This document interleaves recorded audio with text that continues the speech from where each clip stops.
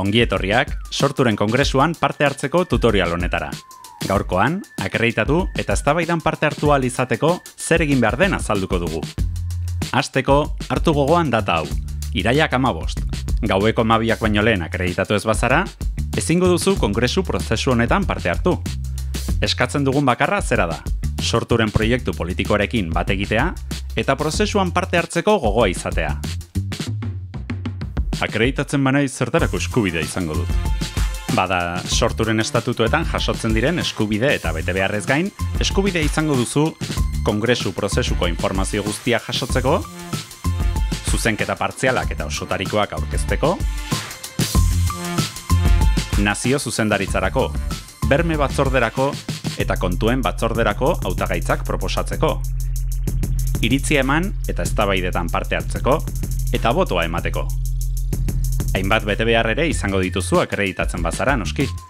Eztabaida demokratikoa eta sanoa izan dadin, denon esku dago kideekiko begirunez eta errespetuz egitea eztabaida guztiak, eta eztabaida araudian denen artean adostu ditugun tempusetan eta markoetan egitea. Sortzailea banaiz akreditatu egin behar naiz? Bai, baina kasu horretan automatikoki akreditatuta zaude, eta beraz ez duzu ezer egin beharrik.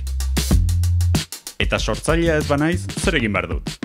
Ba, asteko, gogoratu beharreko helbide bat emango dizuet. Prest? Ordoa.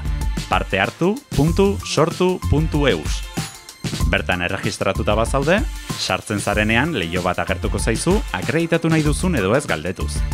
Bai, botoia sakatu eta listo. Email bat ere iritsiko zaizu galdera berarekin. Arazoren bat izan ez gero, parte hartu abildua sortu.eus elbidera idatzi eta lagunduko dizugu. Onaino iritsita, prozesuaren egutegiari kasu pixka batekin eta hemen utziko dugu gorkoz. Lehenengo fasea, ponentziari buruzko eztabaida. Irailaren hogeita bederatzean, Nazio Kontseiluak udako topaketetan kidegoaren ekarpenekin osatutako eztabaidarako oinarrizko ponentzia aurkeztuko du. Ondoren, herri batzarak egingo ditugu hori aberazteko. Irailaren hogeita marretik urriaren hogeita laura, oinarrizko ponentziari osotariko emendakinak aurkezteko epea izango da. Azaroaren emeretzitik hogeita batera izango da hoien bozkaketa, alakorik balego. Irailaren hogeita marretik abenduaren bostera, emendakin partzialak aurkezteko tartea izango da. Abenduaren amazazpitik emeretzira, bozketa. Bigarren fasea, zuzendaritzaren hautaketa. Abenduaren hogeita bian, Nazio Kontseiluak bere hautagaitza aurkeztuko du. Abenduaren hogeita irutik, urtarrilaren bostera, hautagaitza alternatiboak aurkezteko aukera egongo da.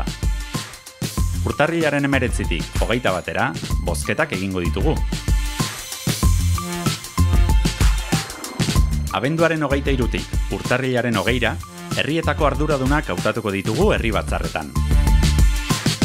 Azkenik, urtarrilaren hogeita bian, kongresua egin eta prozesua amaituko dugu. Xeetasun gehiago jakin nahi badituzu, sartu partehartu.sortu.eu selbidean eta kongresu prozesuaren araudia deskargatu dezakezu.